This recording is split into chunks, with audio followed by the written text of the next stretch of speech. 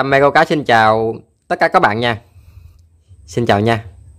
Ngày hôm nay mình sẽ hướng dẫn cho các bạn một bài mồi nền ủ chua chiên câu cá trôi chép hiệu quả dễ làm nha các bạn.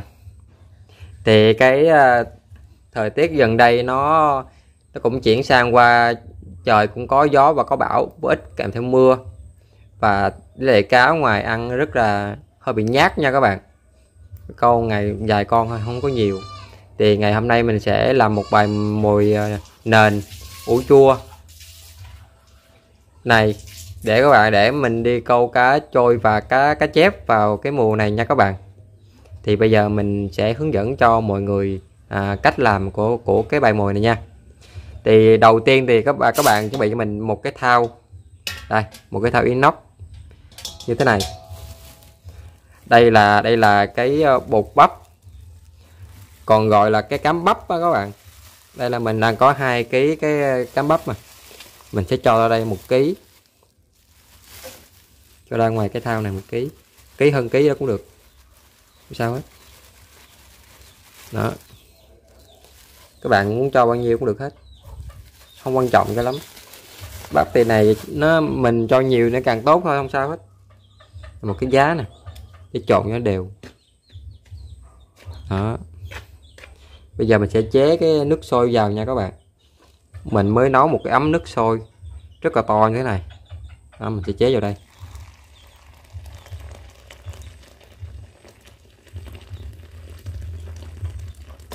Đó chế ít đây mình sẽ à, đảo cho nó đều nha. Mình sẽ nấu cho cái cắm bắp này nó nó chín nha các bạn. Nó chín nó mới ngon được. Mới ok thấy không? Nó hút nước rất là nhanh luôn.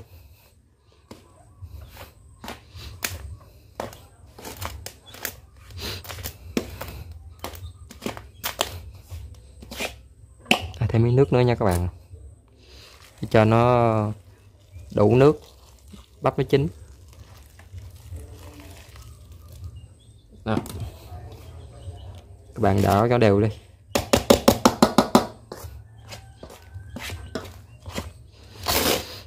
Mình muốn ờ, làm cái bài mồi này. Tới khi mình đi câu lên được cá, thì các bạn sẽ biết được cá nó sẽ ăn cái mồi như thế nào.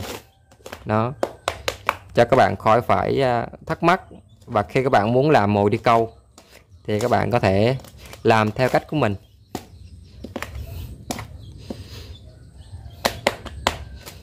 Đó. Cám bắp bột bắp, thì nó cũng đã chín được 90 phần trăm rồi. Đó, rất là dẻo luôn. Cái này mà nấu nữa thì càng tốt. Nấu trên bếp cho nó kẹo kẹo kẹo lại, nó cháy cháy cháy cháy nó ngon hơn là cái mình trùng qua, trần qua cái nước sôi này. Tại vì thời gian mà công việc của mình nó rất là nhiều, mệt mệt mỏi. Nên mình không có nhiều thời gian để mình nấu.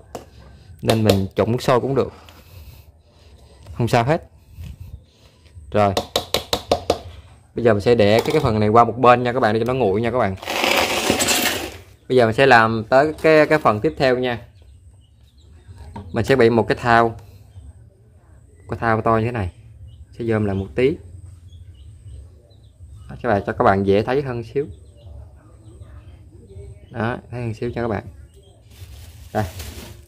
Đây là khoai lang hơn 3 kg khoai lang. 3 kg rưỡi khoai lang. Khoai lang ruột vàng. Mình sẽ để vỏ phần cái khoai, khoai lang này luôn. Và mình sẽ bóp nhuyễn cái cái cái cái, cái khoai lang này ra. Để vỏ luôn nha các bạn.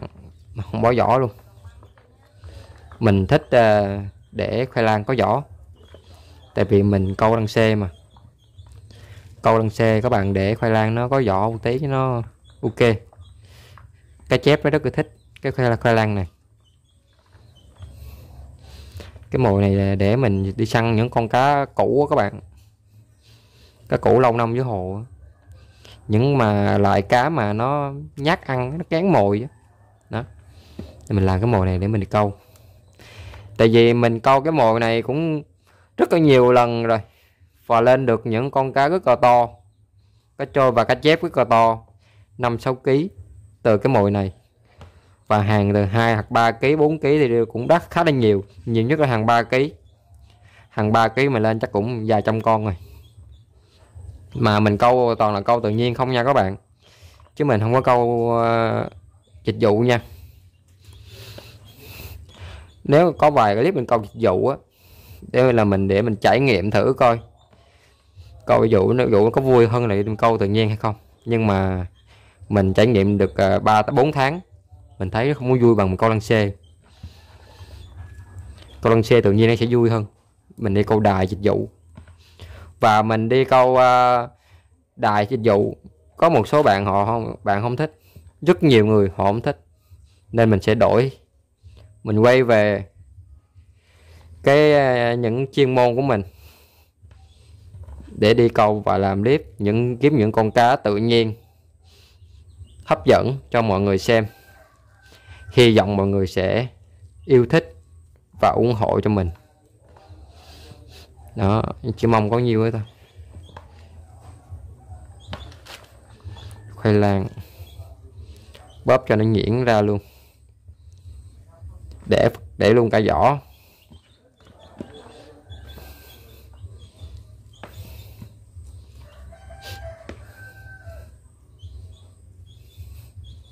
Mình mới làm cái hồ ở ngay nhà sau nhà mình á. Để mình câu những cái chính lợi phẩm ở ngoài cái hồ tự nhiên của mình, câu được. Về nhà mình thả xuống cái hồ đó. Không phải để ăn uống gì đâu các bạn à. Mà là buồn buồn mình ra mà đó mình ngắm nó. Nhìn nó còn sống, nó bơi được ở dưới hồ, tung tăng dưới hồ. Mình rất là vui. Và cái đó cũng là cái sở thích của mình luôn. Đó và cuối cùng sở thích của mình, đó của mình mình đã làm được một cái hồ bề ngang 3 mét và chiều dài được 5 mét. Còn chiều sâu thì tầm khoảng ở chừng một mét đổ lại thôi, không cần sâu. Tại vì đất mình đổ, mình đào bằng tay mà các bạn, chứ không phải là dùng máy xúc để mình xúc lên. Nên cái hồ đó rất là mệt, rất là tâm huyết nha các bạn. Bây giờ mình bó cái khoai lang này nữa là xong này và mình làm những cái thành phần tiếp theo cho mọi người xem là ok. Khoai lang mình bớt tầm 90 hoặc 95 phần trăm cái độ nhuyễn. Chứ mà bóp nhuyễn 100 phần trăm thì mồi chúng ta nó rất là mịn. Và nó sẽ, gọi là mồi xe ta sẽ sẽ rất là dính dai lâu tan. Đây không? Khoai lang. Khi chúng ta bóp ra rồi, nhìn cái màu sắc của nó rất là ngon, rất bắt mắt. Con cá thấy nó sẽ rất là thích.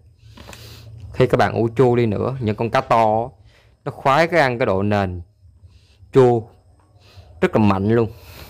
Tại vì cái bao tử của nó nó nhỏ các bạn nên nó ăn rất là kỹ. Rồi, mình bóp bao nhiêu đó thôi.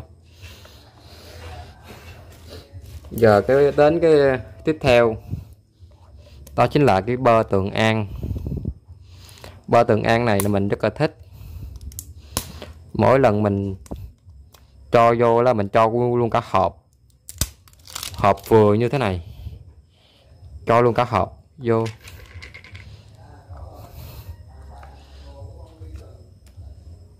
Nó hết các hộp vô luôn. Rồi, bóp lên. Đảo thật là đều. Tay. Cho cái bơ này. Nó trộn lẫn với lại khoai lang luôn là ok nha các bạn.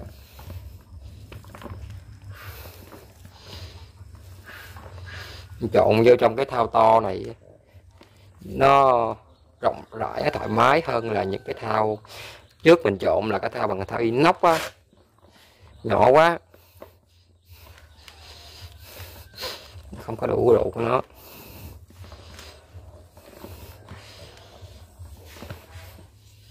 Đó, ok. Phi lan đã xong. Bây giờ đến ờ, phô mai con bò cười. Phô mai con bò cười thì mình cũng sẽ chơi một lóc 8 lát như thế này mình không có có chơi một, hai lát, ba, bốn lát. Đã xác định mình làm mồi á để câu cá là để trải nghiệm đam mê. Một phần là một phần thứ hai, đó là để đi mình test cái mồi của mình do do mình làm ra. Xem thử coi nó như thế nào. Nói chung là là cứ mỗi lần mình đi câu là mình đi test mồi cho mọi người xem á đó. chứ mình không có câu ờ, một loại mồi. Mồi thì cũng câu một loại mồi nhưng mà cách làm và cách trộn và cách câu nó khác nhau. Nó khác uh, tầm khoảng chừng 20 phần trăm. Mình là người thích trải nghiệm tất cả mồi câu lăng xê và cần câu. Trải nghiệm hết tất cả.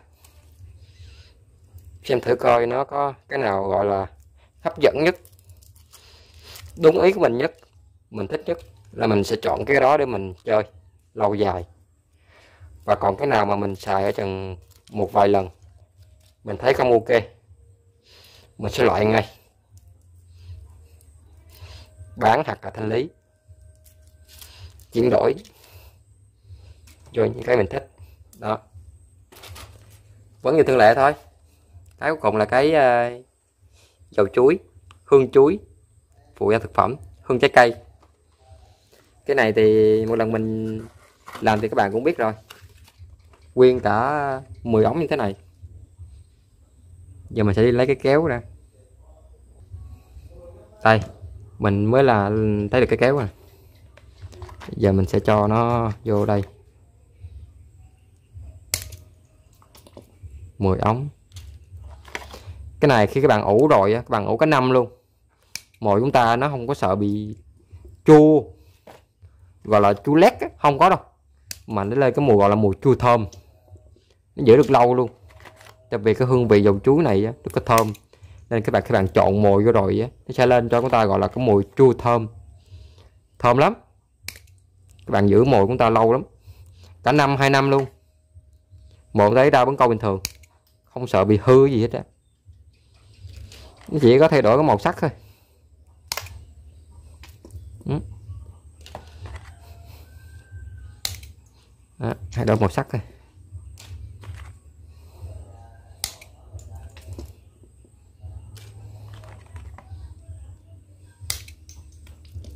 Đó. Xong chưa các bạn? 10 ống hết luôn rồi đó.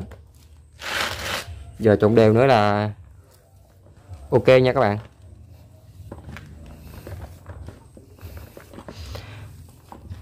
Thường thường là mình ủ cái à, cái mồi nền mồi nền ủ chua này á, là mình ủ riêng một mình trong khoai lang thôi. Không.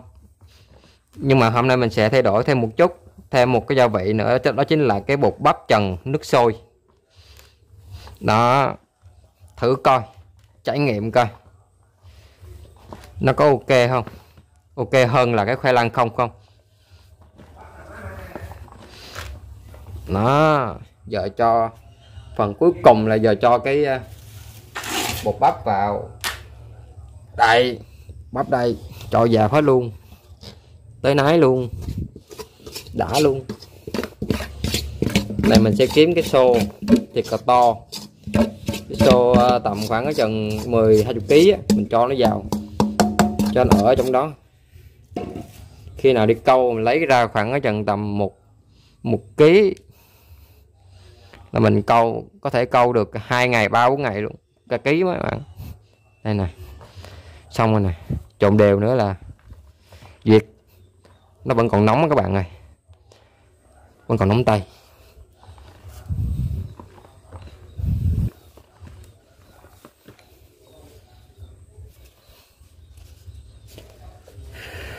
Mình thổi cho nó nguội xíu rồi. Mồi câu mà giống như là bánh bao ăn liền nha các bạn. Phải thổi cho nó nguội nè. Đã không? Có mồi câu rồi các bạn ơi. Nói nói là mình là người thích, rất thích làm mồi nha các bạn. Thích thích câu và làm mồi, hai cái đó. Và cái thứ ba nữa là cái làm bằng xe buộc bằng xe rất thích. Và cái tư là cần câu. Đó, mồi là chính. Rất thích làm mồi. Đấy, thấy không? Mồi chúng ta nó lên cái màu đẹp đẹp đó các bạn nó lên cái màu cam cam cam cam cam cam đẹp lắm. Đó. lên màu cam cam khá là đẹp luôn nha các bạn.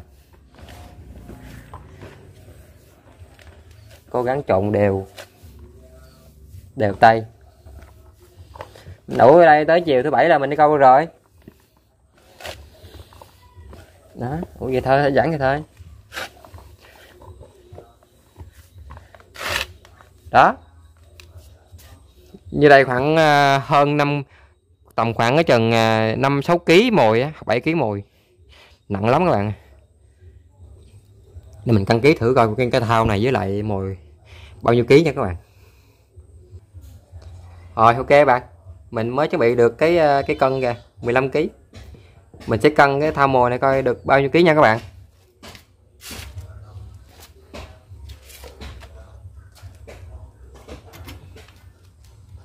Rồi, ok. Được 6 kg rưỡi nha các bạn. Trừ cái thao về nửa ký nha. Là còn 6 kg nha các bạn. Đó. Tổng cộng là 6 kg mồi nha các bạn đây. Đây là cái hũ mồi nền. Lần trước mình còn một ít nè. Giờ mình sẽ cho cái phần à, mồi mình mới trộn nè. Vô trong cái hũ này. Hũ lại. Để cho nó nhanh lên cái à, hương vị chua nha các bạn. Mồi này nó cũng đã khá khá là chua rồi. Mình sẽ cho vô. Cho vô vô, vô cho nó nhanh chua. Để à, uh, nhật này. Có đủ mồi có nhanh có mồi. Để mình đi câu. Kiếm cá về thả hồ nha các bạn. Bây giờ mình thích câu cá lên về nhà mình thả hồ mình ngắm cảnh nè. Chứ giờ mình không thích ăn cá nữa. Ăn có nhiêu đâu thích ờ, câu thích đi câu vậy đó. Đam mê. Câu lên và đem nó về nhà. Chăm sóc cho nó ngắm cảnh nó cho nó ăn, nó bơi lội, cho nó sống. Đó, nha bạn. Câu cá nhiều quá sắc xanh quá. Cũng không có tốt. Nên mới định là mình sẽ câu lên. Câu cá trôi, cá chép vậy? Thả hồ. Nó gần đây cái hũ 5 kg này nè.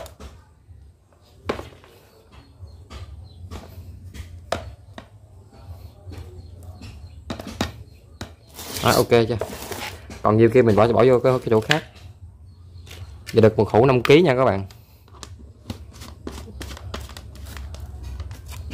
Đã không? Hộp mỗi 5 kg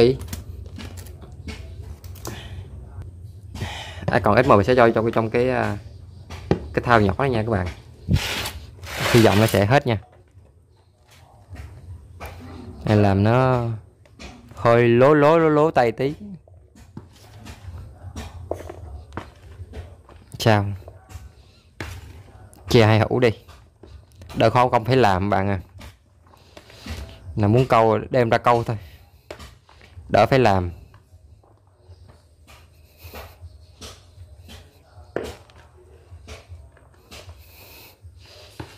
Coi đâu không hết thì hai hũ này thôi. Còn một hũ vậy nữa.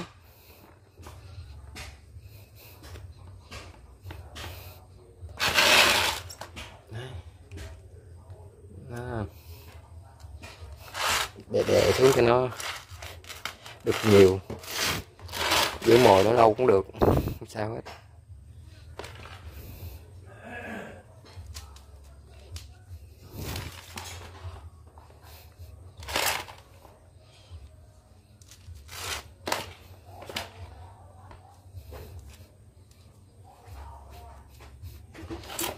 rồi ok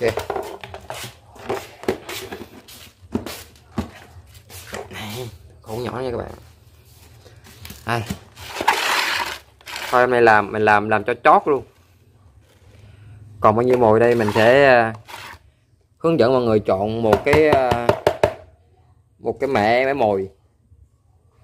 Tầng này đi câu luôn. Test luôn. Cho mọi người xem luôn. Bây giờ mình sẽ cho cám gà con vào nha các bạn. Đây. Cám gà con.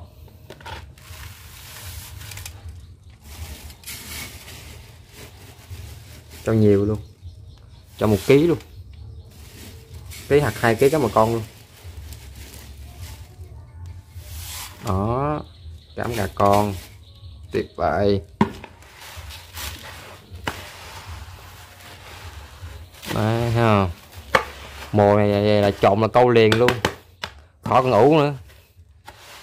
Nhanh nhất có thể luôn. Đó. Lỡ làm nhiều luôn các bạn ơi đây giới thiệu với các bạn đây. Đây là cái uh, thóc mầm. Ủ.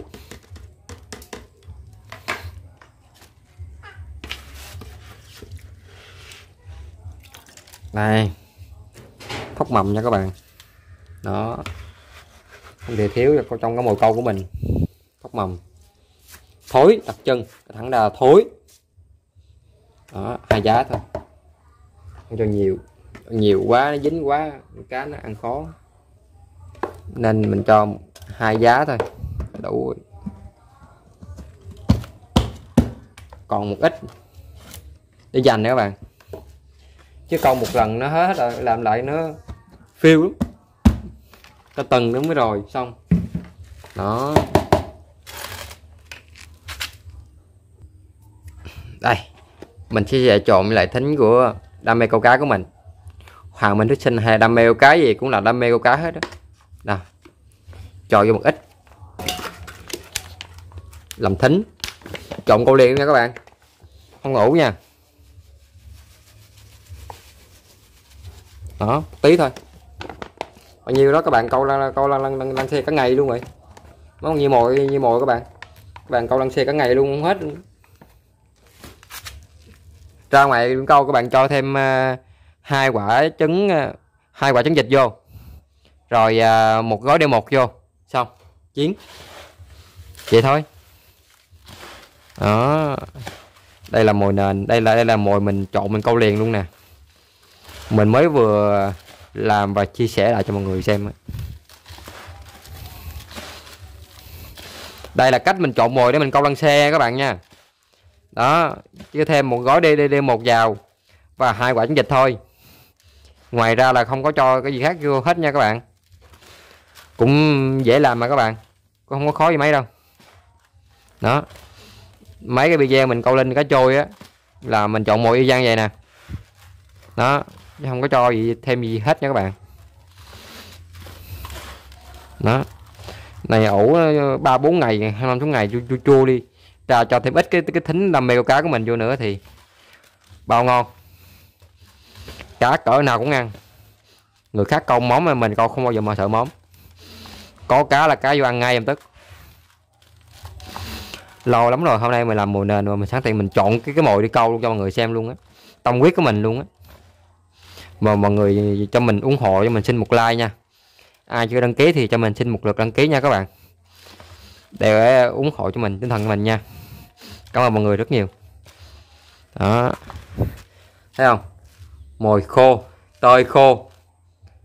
Nhanh đã. Quăng không đứt mồi đâu các bạn à. Quăng không bao giờ đứt mồi. Nè bạn nắm lại cái mồi sẽ dính lại vậy nè. À. đấy. Rất là tơi luôn nha các bạn. Xong các bạn. Nếu mồi khô các bạn lấy nước hồ các bạn cho thêm vô. Nữa là ok. Còn cái mồi này đó mình sẽ bỏ vô cái bao. Mình ủ ờ, tới chiều thứ bảy luôn hôm nay là hôm hôm nay là thứ ba. Bốn năm sáu bảy. Bốn ngày à. Bốn ngày bốn ngày bốn ngày không bốn ngày lên mùi mùi ờ, mồi lên mùi chua đã lắm chua ngọt đã lắm chua thơm đã lắm. Ra ngoài trộn nước theo hồ câu nữa là thêm trứng vịt một vô nữa là quất thôi. Làm hương vị thơm tạo cái tính nền. Về các bạn câu lên được cá rồi. Rồi ok. Thì ngày hôm nay mình đã chia sẻ cho các bạn xong cái bài mồi uh, bài mồi nền ủ chua, chiên câu cá trôi chép, hiệu quả dễ làm này của mình. Và các bạn yêu thích, hãy nhớ cho mình xin một like. Và đừng quên đăng ký kênh. Và chia sẻ cái video này với tất cả mọi người cùng xem nhé các bạn.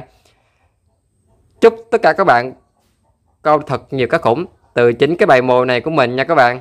Và nhớ like, ủng hộ, đăng ký, giúp cho kênh đam mê câu cá này của mình càng ngày nó càng phát triển nha. Còn bây giờ, chào tạm biệt và hẹn gặp lại các bạn vào phần 2 nha.